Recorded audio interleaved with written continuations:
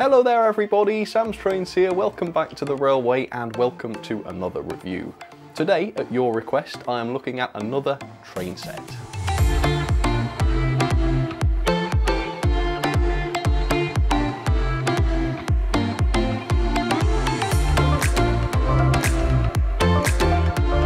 I've talked a lot recently about how expensive this hobby has become and how it's self-destructing by putting off newcomers. So I thought today it might be nice to look at maybe an exception to that trend. And so with that, I've got this. This is the City Express train set from Hornby. And this one's slightly unusual because it's a retailer exclusive, which is not something Hornby does much of but it is exclusive to WH Smith. I guess they're big enough to attract Hornby's interest, I don't know. But yeah, if you don't know about WH Smith, they're a shop that sells like stationery, books, games, that sort of thing, and they're all over the place, at least they are here in the UK. And this is their train set, and it was incredibly inexpensive. I ordered this from their website and I had it delivered, I think, free of charge, no postage on there, and the price was 69 nice pounds 99, which for a large train set seems to be very reasonable. And this train set even includes a set of points, as you can see, and the RRP for a set of those points on Hornby's website is £14.49, which is 20% of the entire value of this train set. So crazy. I think it was reduced the thing is, because it was exclusive and it wasn't a, bunch of different retailers, I couldn't shop around and find the RRP, but it must have been a lot more than that. Begs the question, why have these been reduced so much? Well, I don't know, but if I had to hazard a guess, maybe it's because the livery on the Javelin locomotive that you get here is very clearly fictional. I mean, giant lettering, City Express on the side. It's clearly very unrealistic, so maybe that's limited the appeal of this set. That would be my guess. But let's take a look at this very, very thrifty train set and let's see if it's any good. All right, so I think this ought to be pretty interesting then, mainly because this contains a Class 395 or a Javelin, which is a Hornby model that I have never tried before. As I understand it, the 395 comes in two different varieties. There is the Hornby Railroad version, which I assume is going to be the one in here, the basic model with not much detail, but there is also a Hornby Railways one as well. But I understand that the railways and the railroad model were released at around the same time. So does that mean that the two are the same model? Sometimes Hornby do that and then they just upgrade and improve the railways version slightly. So I'm hoping this ought to be a pretty decent loco. I guess we'll find out. Anyway, they've cheaped out on the box a little bit. There's no artwork on the back. In fact, there's no printing of any kind. But on the side of the box, you can see there is a product code here, just in case you wanted to look it up. So I think it's this one here, R1239M. And as for the contents of the box, there's some info down here. So it does appear to contain a track mat, which again is impressive at less than £70. Even the Harry Potter train set that I bought from Hornby, which was, you know, into the hundreds, even when it was heavily reduced, that didn't have a track mat. Looks like a three car set, so it is the bare minimum, really, isn't it? Plenty of track though, as I say, including the points, plenty of straights, and my favourite controller in all the world. Burns very well, keeps you warm at night. It's excellent. Anyway, let's move on. Uh, I think I'm going to need Rusty. In fact, Rusty's got a new friend. Let me find him. This is Shiny. This is Rusty's upper crust brother, who does a much better job. Look at this, Rusty. I hope you're watching. Right, there we go. I think we're in. Right, so I can just lift the lid now, I guess. All right. Okay, City Express. Let's take a look at this hideous livery. Okay, so first of all, we've got even more than was shown on the front of the box. We've got a re-railing tool inside there. Second of all, everything's upside down for some reason. All right, well that's easily rectified, isn't it? Okay, so I don't think I'm going to go into this. It's just, in fact, no, I am, because it's going to have instructions for the Javelin. So We've got a re-railer in there, it's for putting stuff on the track. We've got a track mat, which is for putting your track on. And then we've got this. okay, so the title suggests that this is a very detailed manual. High-speed train, operating and maintenance instructions. Okay, so it shows an incredibly primitive coupling, lubrication, and it also shows us what sort of mechanism we're dealing with here. Hmm. Okay, that's it. Hideous controller instructions, don't really care about that. And I think that's about it. So we've got an owner's manual, of course, but I've looked at that, I think, in every train set video I've ever reviewed. So you probably don't want to see that again. It's certainly nothing of importance anyway. Right, so I've got to say, maybe I've been a bit mean about the livery because it actually looks pretty decent. I'm getting I'm getting Virgin vibes from it, I guess, sort of. Not keen on the City Express lettering on the side. Uh, I think that is quite off-putting actually to anyone who's thinking of collecting this for any serious modelling. Yeah, can't help thinking a real livery would have been better, but you know, it doesn't matter I suppose. Okay, let's pull this baby out then. Let's have a look at this. I don't know if this is the driving car or not. No, quite clearly this is just uh, an undriven coach. Uh, it's got pickups in it though, which is a good sign, just on the front there. So does this have lights? If this train set has lights, I will be reasonably impressed. And we'll take a closer look at this in a minute, but yeah, seems to be a fair amount of detail. Good looking pantograph on there as well. It's going to be a cheap and flimsy one, knowing Hornby, and yes, you can see it's already broken. great, great. But no, for a train set item, this looks reasonably impressive. So is the, I don't know, is the drive mechanism going to be in the coach maybe? No, don't think so. Seems pretty light. So no pickups on this. But again, the detail is great. Yeah, this is really, really good for a train set, isn't it? That's just the livery. Why would you do such a livery on this? I don't know. Anyway, yeah, that looks good. That looks really decent. So this must have the drive in it then, this driving car. Let's have a look. Is it heavy? no, still not very heavy, but quite clearly, yes, this is the driving car. Oh, it's got traction tyres on it, rubber tyres. I mean, kind of makes sense because it's quite light. And it is a train set, I suppose, but yeah, not keen on that. Um, the wheels look dirty. Yeah, the non-driving wheels at the front with the pickups. Looks like they've been used. That's a bit strange. Okay, fair enough. On the plus side, the pantograph doesn't appear to be broken on this one, so that's good. We've got half marks on that then. Right, so let's have a look at the track. Uh, so what have we got? So we've got a point correcting curve, just a single curve there. Uh, we've got the set of points and three straights, one of those being the power track, which is also just broken. Little knobs just come off it. Okay, let's put that back on. Hmm, not sold on the quality so far, but you know, it's Hornby. Curves, so this is going to be third radius and there's enough here for a whole oval. I think it's eight pieces to an oval, so there's that. And then there are a couple of straights as well, which make the oval more of an oval and less of a circle. All right, double straights those. And then a nice inclusion is the buffer stop. Yeah, nice, nice accessory to have. And then, uh, yeah, my favourite. I'm not going to get this out, I don't think. I suppose I'll have to later on, but uh, you don't want to watch me do it. And what transformer has it got? Uh, some people are interested in these stats. 19 volts, half an amp. Not much grunt to it. That's putting it mildly. And let's see if there's anything under the tray. No, so that is it. So overall, I mean, for £69.99, this is really decent. Just for this pack alone, these days £69.99 would not surprise me at all. To say I've got the controller, hideous as it is, and a track mat and points and all of the track with it, yeah, doesn't seem bad, does it? Doesn't seem bad, but Let's have a little bit of information on the javelins and then let's take a closer look at some of the detail.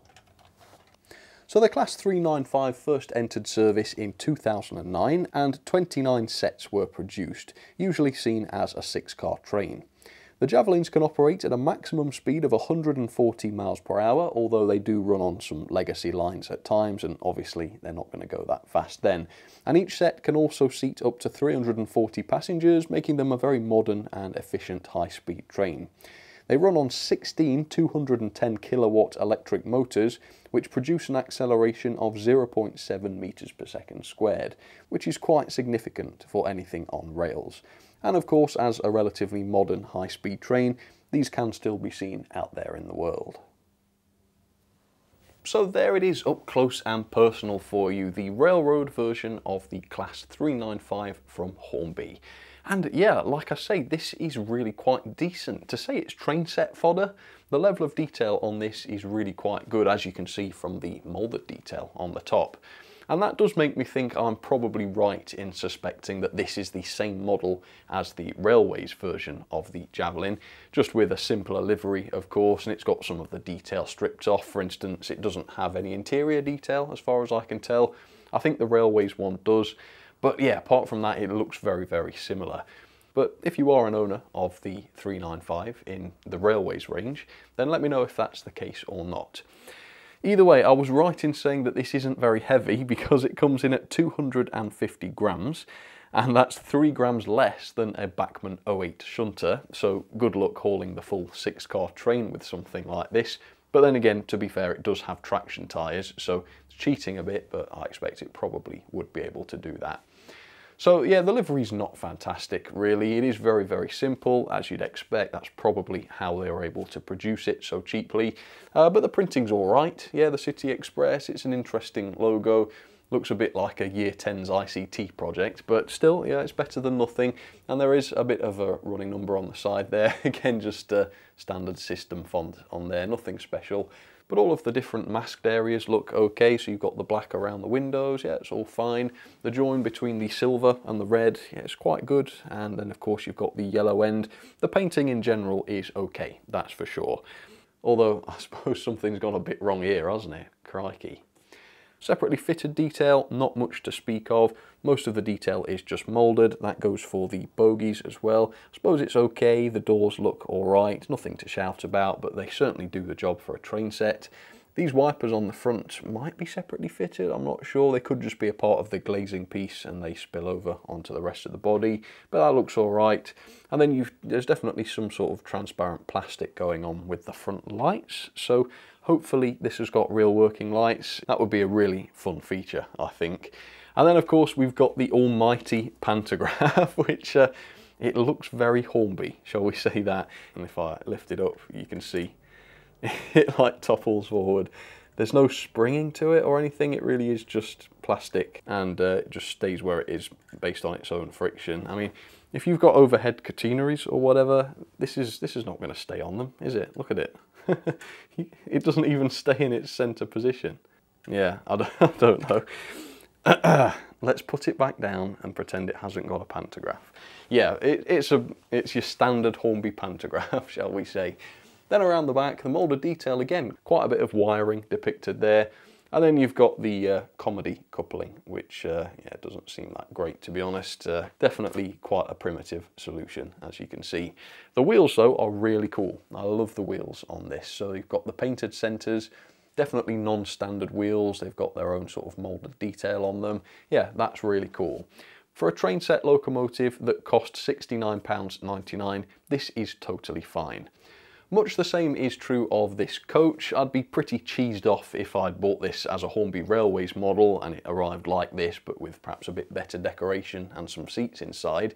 But again, for a train set package, this is perfectly okay. So it's the same sort of deal with the windows and such, all looks fine. Little bit of decoration, they've gone with the underscore motif there, which, uh, well, it's, it's, it's something, isn't it? And you've also got a number on there too. The roof again is probably the best aspect of this and it's a good job because you obviously look down on a train set so that's what you see. Yeah it's very decent the moulded detail. Same sort of thing with the wheels as well. I do like the wheels, probably my favourite feature on this actually which is good. And the thing about it as well is that it's neat and tidy. There's no glue visible, there's no messes in the decoration. So again, let's not forget for the price, this definitely seems to do the job. And this weighs in at 140 grams, so it's not sort of feather light either, which is decent. Anyway, the other power car is much the same as the first, so I'm not going to bother showing that. The train set is exactly the same as the others I've looked at in terms of track setup and such, so I'm not going to do that. What I will do is set up the controller that came with this set with my usual track, and we'll see how the Loco performs. If you're interested in seeing how the train set assembly goes and what sort of quality we're dealing with there, you can check out one of my other Hornby train set reviews. I'll pop up a link in the top right now. They are all exactly the same thing in terms of track and control. Okay, let's move on. So there it is down onto the track, the Hornby fictional liveried Javelin. And doesn't it look good? it looks surprisingly good for a 70 quid train set train. It really is quite impressive. This set is definitely best viewed from a distance like this, and then it's pretty much fine. Okay, so I've already filmed the first performance test and I'll show you that in just a moment. It was pretty amusing though, so yeah, you've been warned.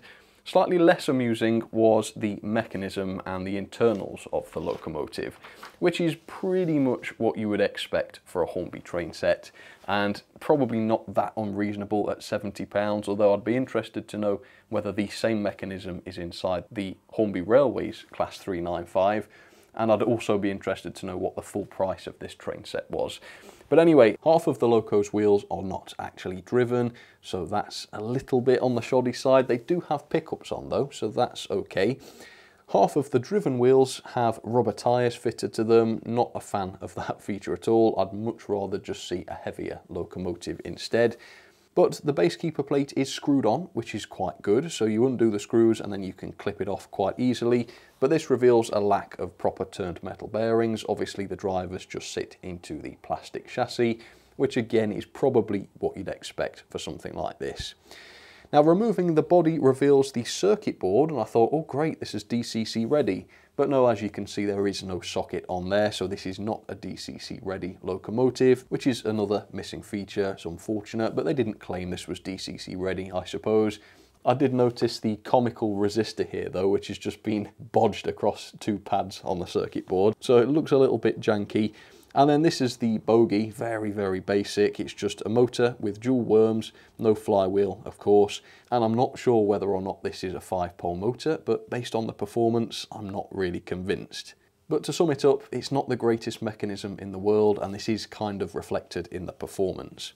The gauging is significantly below the standard. The back-to-back -back here comes in quite consistently at 14.1, which is quite below the standard. So yeah, a little bit on the loose side there. But overall, it's pretty much what you'd expect. Right, let's go back in time then. Let me show you how that first performance test went. Right, so let's start putting this together then, uh, so I can actually test it. And while I'm doing that, I'll talk to you about how free rolling the coach is. The answer is pretty free rolling. It's very, very good. Went all the way down Gordon's Hill around the first curve. And of course it's a good job because it's got to be hauled by a 250 gram locomotive with rubber tyres to help it along. So yeah, that's a pretty good sign. Right, let's find out, does the train set work? I'm using the Hornby controller, as you can see. Let's give it some juice.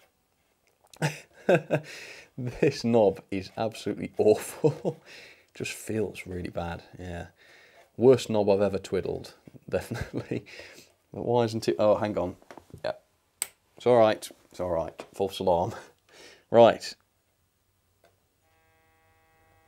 What note was that then? Somebody with a musical ear, you can tell us. Let's hear that again. Um, oh, very nice. Didn't know this was complete with musical accompaniment. What note in reverse, perhaps?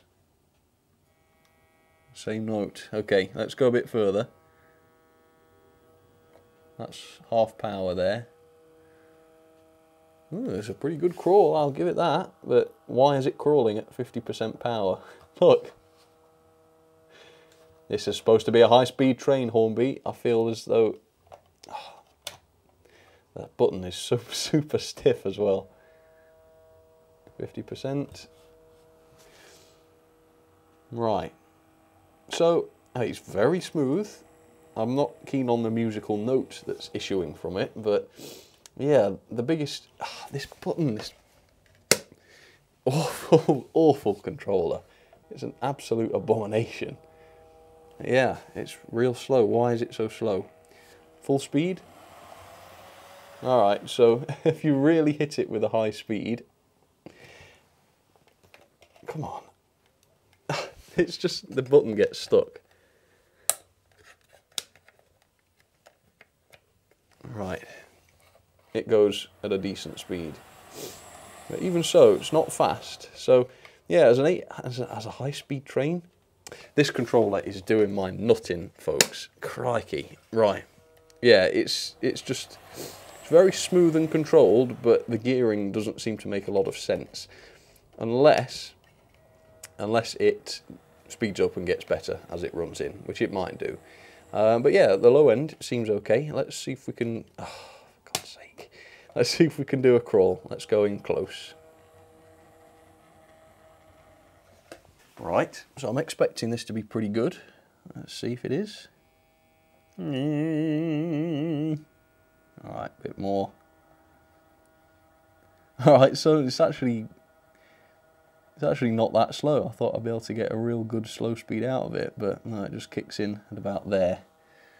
Oh, that's disappointing. What's the point of it being slow if it doesn't even crawl? But no, again, you know, I'm being humorous, but this is a train set locomotive. It is fair enough that it's not performing excellently, and it might be better when I've gotten rid of this abomination as well. On the plus side, there are working lights. That is brilliant. I love that feature. So if I can, yeah, and they are directional as well. So when the loco goes away from you, you've got nothing. And then when it comes towards you, you've got cool white LEDs. Looks like a pair of them, perhaps. That's really nice. And are they on both ends?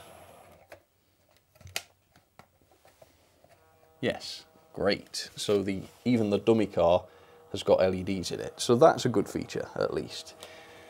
Right, so you're supposed to run in stuff like this at half speed. You're not supposed to run it in at full power. So that means it's got to run in like this. But it could be the controller, I suppose. This is not my normal controller, so we'll swap it in a bit. So, the title of this train set has taken on a certain irony now, hasn't it? The City Express, everybody. You know, I'd propose a new name. Let's scrap the City Express. How about uh, City Snail? City Old Man walking with his dog? City, oh no, we've derailed. Please pause the service. Wow, it is derailed and stopped.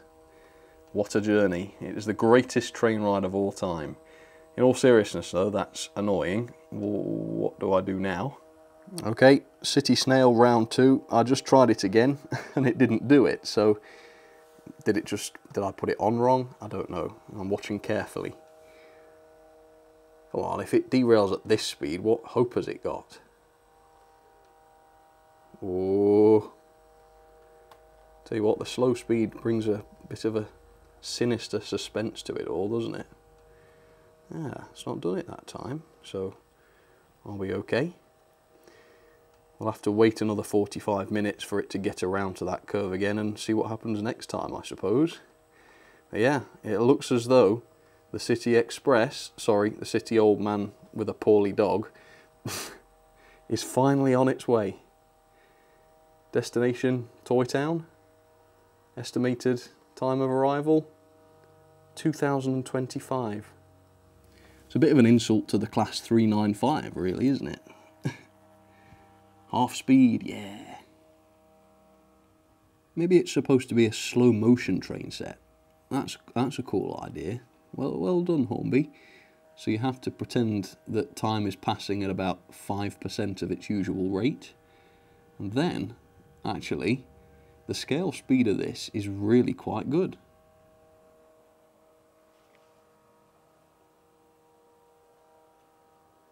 Is it me, or is it getting slightly faster? Uh, I think it's probably just me. it's literally slowed down again. So I've been for lunch, I've watched an entire TV series, and here I am back just in time for the second lap. And the question is, was it worth the wait? Let's see.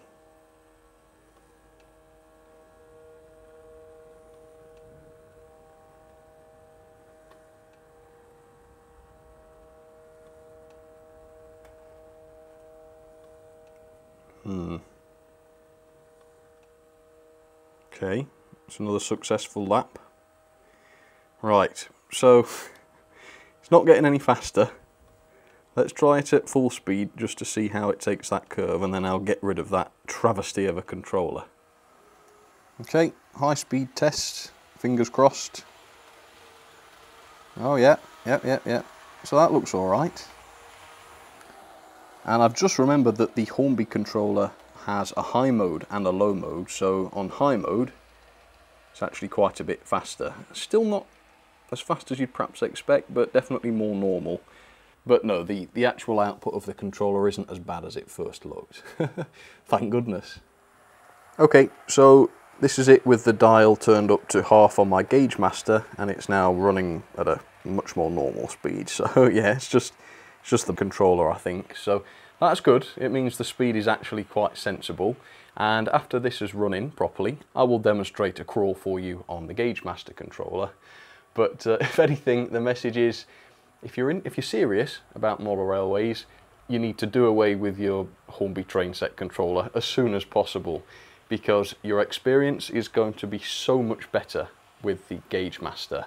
So the performance is bad when it's working normally, but with this example for some reason, if you turn the dial back to zero and then try to flick the switch, and that's what you're supposed to do, the switch has got like an interlock on it which stops you from flipping it when your trains are actually running.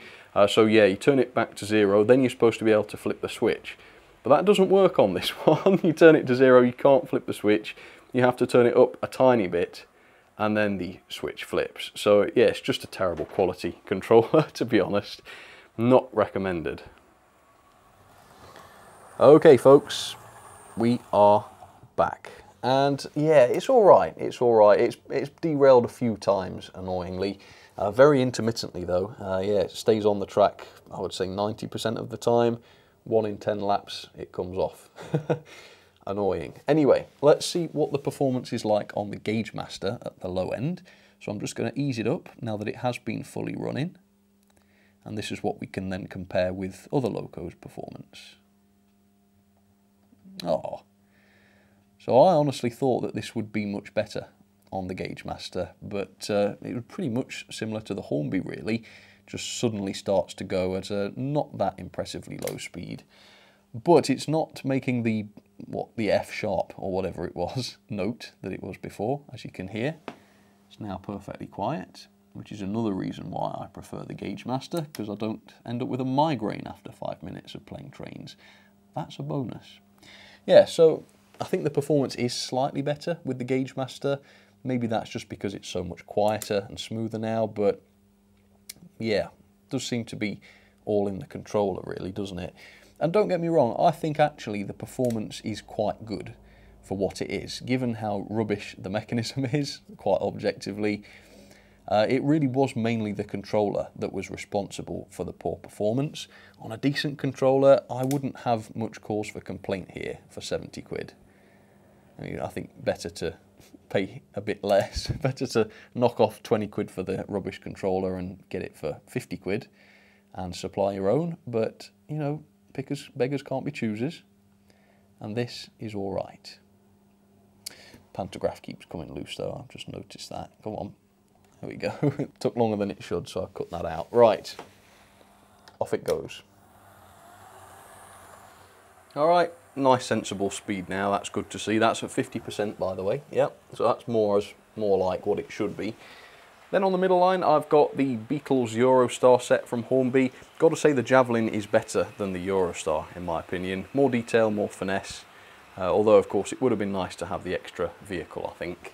And then for a slightly larger high-speed train, we've got one from Bachmann here. Can't even remember what this one is now. Blimey, it's been a long time since I've seen it, but there we go. Thought it would be nice to run that. So very clearly this thing is far from perfect, but at 70 quid it's hard to argue. It looks good, it runs well in the end, and so it's. I think this is a really good budget train set.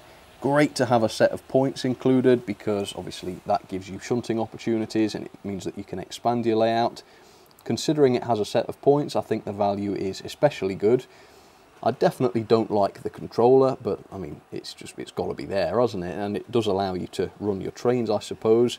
Um, but it would be nice to see Hornby develop a slightly better quality controller to put in their sets. Something like the Gauge Master controller. Something like that in terms of quality and performance would just make Hornby sets for me. They would just be so much better.